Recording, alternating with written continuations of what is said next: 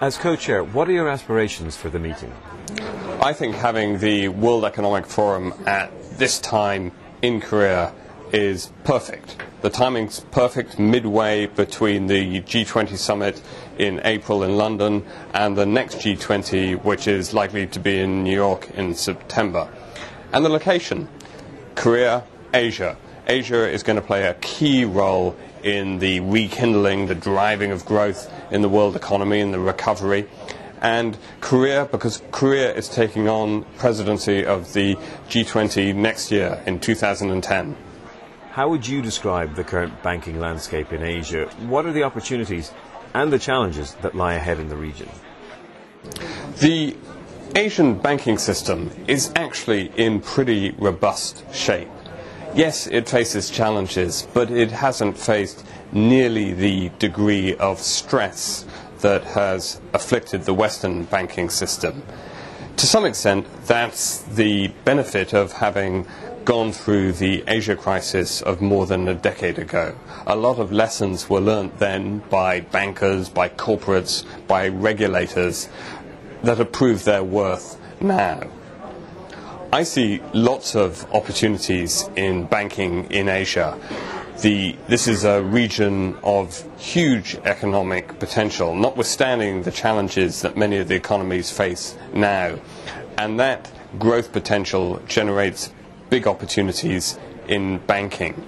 So, the banking system in Asia, definitely some near term challenges. Asia is not immune from what's going on in the broader world economy. We all know that. But a banking system that's in relatively good shape and with plenty of opportunities for the future.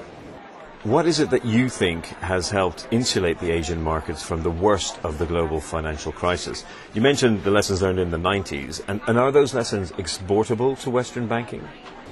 Some of the things that have made the Asian financial system more resilient in the face of the financial crisis are pretty fundamental uh, truths that have relevance to the rest of the world most Asian financial systems, most Asian corporates weren't as leveraged as, say, the US or the UK. There was much less uh, over complexity or over sophistication in some of the alphabet of products that were um, produced.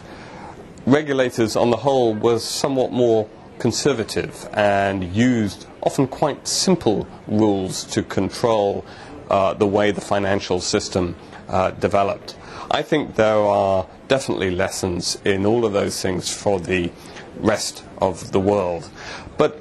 I don't think also that Asian countries, bankers, regulators should be too complacent. There are things that need to change and develop in the Asian financial markets. We need stronger domestic capital markets in Asia. We shouldn't be complacent about the current state. There are, there are things that need to be improved. What would you urge leaders to address when South Korea assumes the G20 chairmanship in 2010? Well, it's still six months or so before Korea assumes the um, chairmanship of the G20 in 2010. And six months, given the current pace of economic developments, the way this crisis is unfolding, is really quite a long time. And of course, we have the G20 meeting in September in the States before then. I suspect we will still be wrestling with the challenges of the world economy, the reshaping of the financial architecture of the world. These will challenges that will persist through into 2010. A couple of things I think will be very important during the Korean uh, chairmanship of the G20. One is that we continue to fight against the forces of protectionism. I do think that as unemployment increases in markets all around the world, the political pressures for protectionism, whether explicit or hidden away in regulations and so on, will become very strong. And I think the G20 will have to play a role in resisting those pressures. A second thing I think will be very important during 2010 and the G20 discussions that year will be to ensure that as growth is rebuilt, as the world economy comes back into recovery, that we do so on a basis that is sustainable.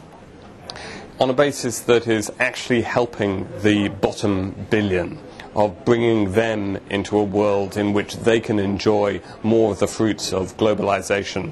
Otherwise, I think the political legitimacy, the social legitimacy of, of the economic growth will be undermined. And, and another aspect of sustainability, we, we do need to ensure that the next phase of world economic growth is more environmentally friendly. Ultimately, we have to do something about climate change. And I think that is something where Korea is very well positioned to take a leading role.